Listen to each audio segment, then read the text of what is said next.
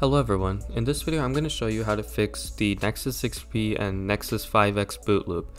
One thing to keep in mind is that you cannot do this fix unless you already have an unlocked bootloader. One way to unlock the bootloader if your phone is already boot looping is to heat up the phone as much as you can so the phone disables the broken cores. If you already have an unlocked bootloader you can go ahead and follow the steps in the video.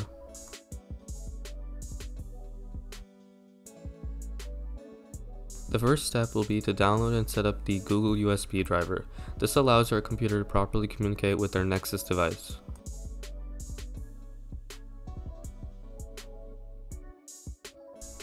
Once you've downloaded and extracted the zip file, look for the setup information file and right click that, then click install. After a couple seconds you should see something that says installation complete. Once you're done with that, you can go ahead and delete all the files. The next thing we need is SDK platform tools. This allows us to use ADB and Fastboot to flash our Nexus 6P with a new custom ROM and the patch to make it work. Unzip this file as well.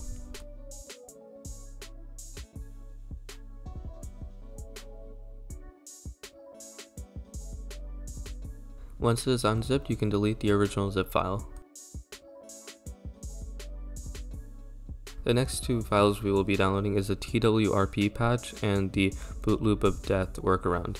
Both of these help our Nexus 6P boot without using the broken cores. And finally, the last file we'll be downloading is our custom ROM. I prefer using Pixel Experience since it is closest to the modern pixels of today.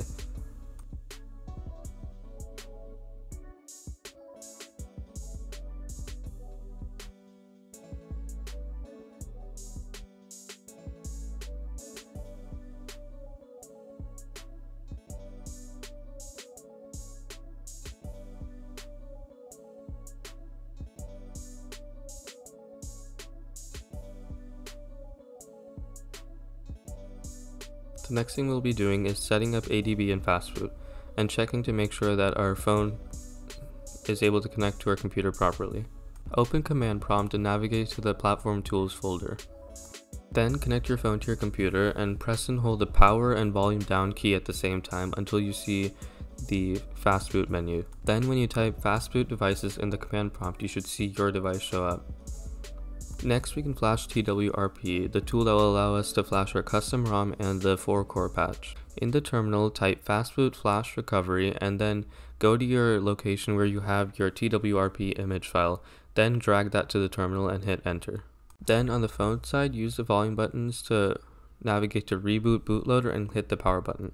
Once it's rebooted and you've seen the fastboot screen again, navigate to recovery mode and hit the power button again.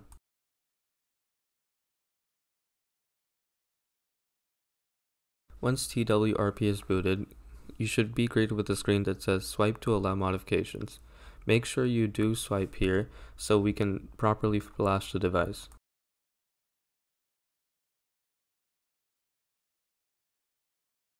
Once you're on the home screen, select wipe and then format data.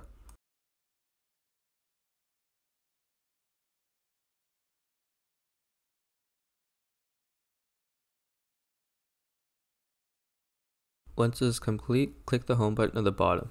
Then click the advanced button and then ADB sideload. Select wipe cache and Dalvik cache, then swipe to sideload. On the computer side, type in ADB devices to make sure that your device is connected properly.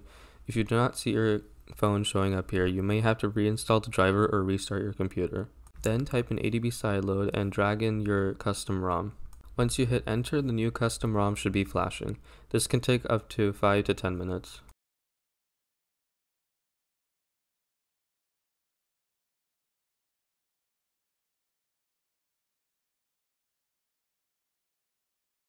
Once it is complete, click the home button and then repeat the process of clicking advanced and then ADB sideload. Once it is in sideload mode, type in ADB sideload on the computer and drag in the N5X-6P BLOD workaround. Once you click enter, it should start flashing. This should take around 2 minutes.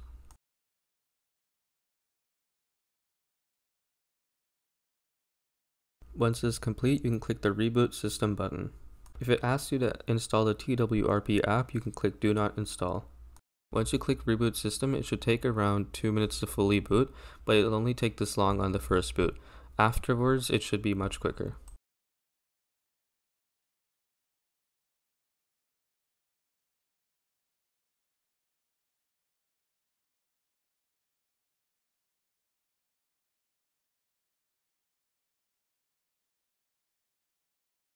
And that's all. Now you have a completely working phone, although I have to say it is a little bit slower than before since we have disabled four of the high performance cores and only the four little cores are doing all the work.